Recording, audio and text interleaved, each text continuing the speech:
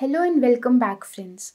Continuing with our series on writing task one under academic IELTS, आज हम एक और visual representation के बारे में बात करेंगे Today we will discuss how we can convert and interpret a diagram that shows a certain process happening. So आज मैं आपके लिए लेकर आई हूँ एक ऐसी visual representation जो आपको एक प्रोसेस को होते हुए दिखाती है हमने इस विजुअल रिप्रेजेंटेशन को इंटरप्रेट करके 150 वर्ड्स का एक छोटा सा ऐसे बनाना है as part of a task one so without further do let's begin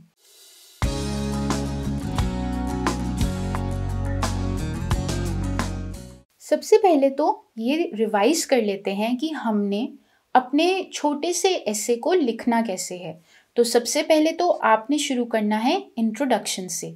ये इंट्रोडक्शन आपको क्वेश्चन में ही दी होती है और आपको सिंपली इसको पैराफ्रेज करके अपने वर्ड्स में लिखना है। उसके बाद आपने सारे आइडियाज़ का एक ओवरव्यू देना है। मतलब आपके सामने जो विजुअल रिप्रेजेंटेशन है, उसमें बेसिकली आपको क्या चीज़ समझ में आ रही है, उसको आपने अपने शब्दों में तीन या चार लाइनों में कंक्लूड करके लिख देना है। उसके बाद हमने सबसे इंपॉर्टेंट इन्फॉर्मेशन को सिलेक्ट करके अपनी मेन बॉडी को लिखना शुरू करना है। रिमेंबर हमें सारा आंसर 150 वर्ड्स में ही लिखना है। उसके बाद, सबसे पहले तो अपने मार्किंग क्राइटेरिया को जल्दी से रिवाइज कर लेते हैं। टास्क अचीवमेंट मतलब जो क्वेश्चन में आपसे पूछा गया है एग्जैक्टली exactly उसी को आपने आंसर करना है।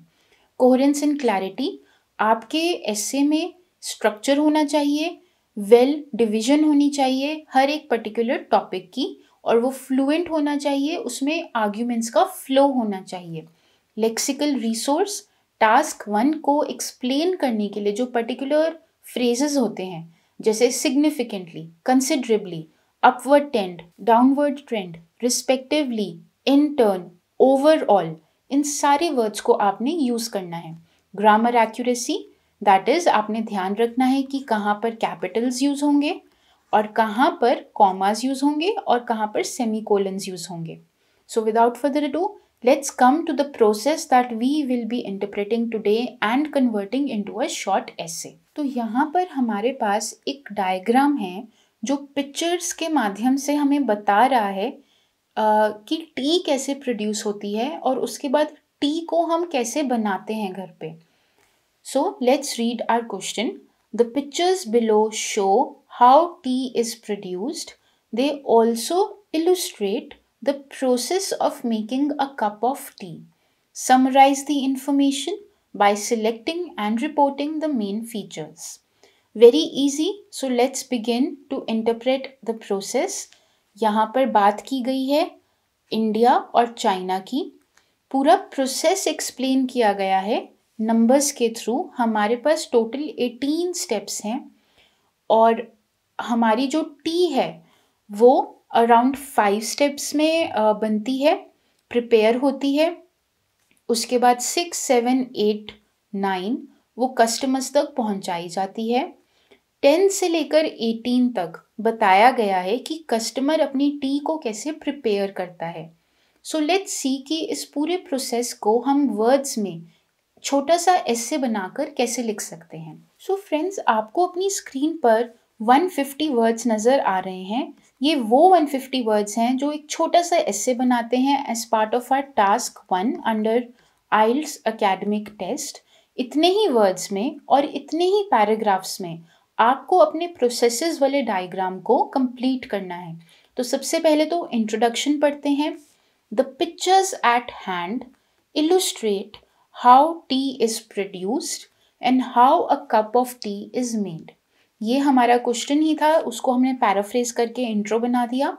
There are eighteen stages in the diagram from sowing the tea seeds in India and China to enjoying a cup of tea at home that is it दो लाइनों में आपने अपनी इंट्रोडक्शन लिखनी है।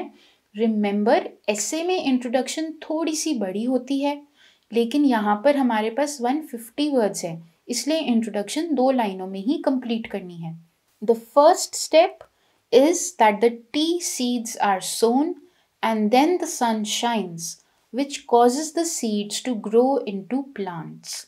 Once the plants have grown sufficiently grown sufficiently sufficiently एक बहुत अच्छा वर्ड है जो आप समराइज करने के लिए या किसी भी चीज़ को दर्शाने के लिए यूज़ कर सकते हैं। The leaves are then picked by the farmer and put into baskets after the picking stage the tea leaves are spread out in the sun to be dried the tea leaves are then packed into boxes and then they are loaded onto lorries which take the boxes of tea to supermarkets ये पूरा paragraph देखने में आसान लग रहा है लेकिन अगर आप इसको ध्यान से नोटिस करेंगे तो आपको रियलाइज़ होगा कि यहाँ पर बहुत सारे प्रेपोजिशंस को यूज़ किया गया है। इन प्रेपोजिशंस को अगर आपको यूज़ नहीं करना आता है तो आप अपने प्रोसेसेस का पैराग्राफ या ऐसे नहीं लिख पाएँगे। सो मेक श्योर कि अगर आपकी प्रेपोजिशंस को लेकर नॉलेज या फिर प्रैक्टिस कम है तो इस पर्टिकुलर टास्क को प्रैक्टिस करने से पहले आप प्रेपोजिशंस प्रैक्टिस कीजिए। प्रेपोजिशंस हमारी हेल्प करती हैं स्टेप्स को पिक्चर्स को आपस में जोड़कर एक्सप्रेस करने में। Now coming to the concluding paragraph in order to make a cup of tea in order to make ये बहुत कॉमन फ्रेज है you can use it as is across your task one essays first of all you buy a box of tea and take it home. Next, you fill the kettle with water and put it on the stove to boil.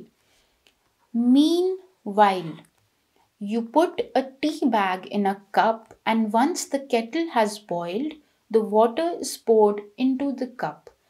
Remember, friends, हमें यहाँ पर बहुत सारे commerce और prepositions का use करना है उनके बिना हम कॉम्प्लेक्स सेंटेंसेस को नहीं बना पाएँगे और अपने पिक्चर्स को वर्ड्स में कन्वर्ट नहीं कर पाएँगे having been left in the cup for 2 minutes. Having been left. It's a very good phrase. It shows lexical resource.